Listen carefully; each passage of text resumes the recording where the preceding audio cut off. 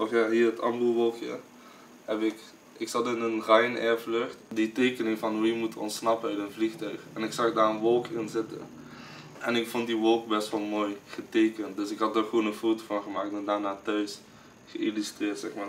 Dit is gewoon precies die Ryanair wolk en toen heb ik er bliksem shit bij gezet.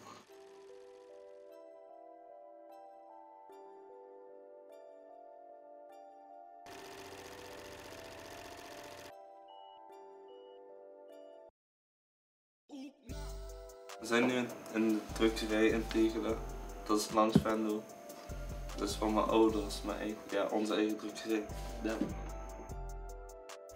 ja, ik help hier mijn ouders en ik maak de Ambo merch hier. En ja, alles is gewoon hier zelf gemaakt en ontworpen.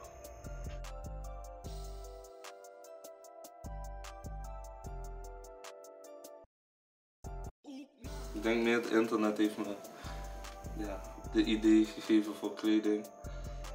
En ja, me wel een soort van geleerd, zeg maar, buiten spelen en voetballen.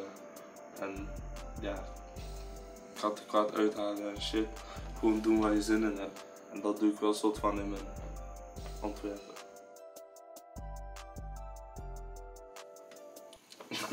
ja, we maken merchandise met allemaal omdat we gewoon de jeugd leuke kleren willen geven ook. En ja, je kan er geld mee verdienen natuurlijk. Maar ik deel, Ambu zeg maar begonnen met merchandise alleen. We maakten eerst kleren, daarna maakten we pas muziek.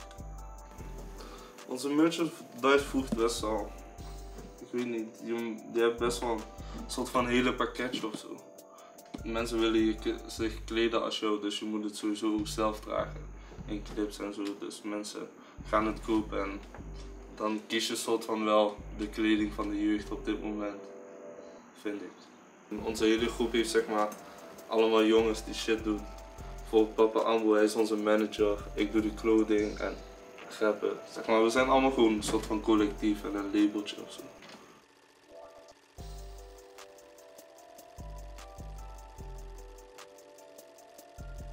Maar de jeugd moet goed scheid hebben en zichzelf gewoon kunnen uiten in hun kleding en ja, wat ze vinden en hun muziek smaken.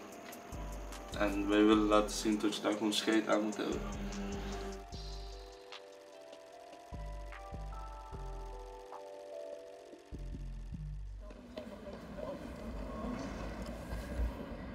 Ambu Wave. Ambu Wave. Learn to surf boy. We zijn in Venlo Zuid, thuisbasis van Ambu Gang. Dit is waar we alles opnemen. En dit is waar we elke dag zijn.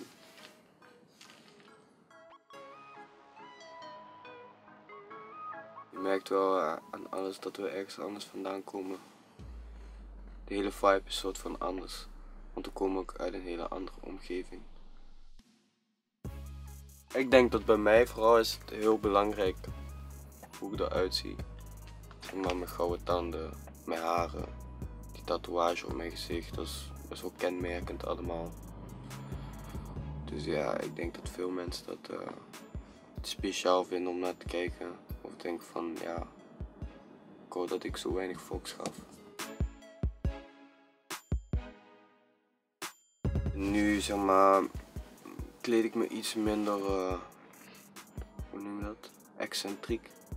Omdat ik weet gewoon van ja, er zijn, er zijn mensen in Nederland die het leuk vinden, je weet toch, mensen met gekke stijl, maar zeg maar, meer dan de helft wil liever gewoon uh, een normale stijl zien, want anders gaan ze haten.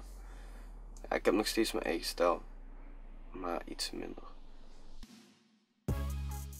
Ja, je moet bezig zijn met je imago, want je moet wel een beetje commercieel kunnen denken, toch?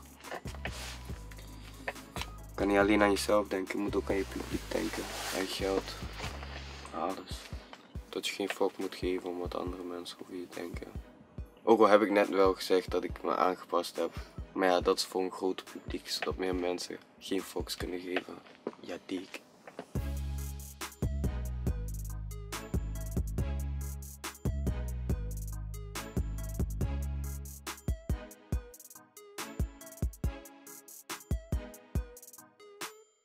Ja, glamrock gewoon. En dat is wat nu ook met hip-hop gebeurt. Je merkt mensen zijn niet bang om nagellak te dragen, zijn niet bang om gekke kettingen te dragen met spikes, chokers. Je weet toch, dat is gewoon wat nu aan het gebeuren is, alleen dan in de hip-hop. Wij zien eruit als, als toen die glamrockers. Ja, wij, wij zelf per se niet, maar ja, als je Lil kijkt of zo. Het is maar zulke mensen. Het is gewoon same shit.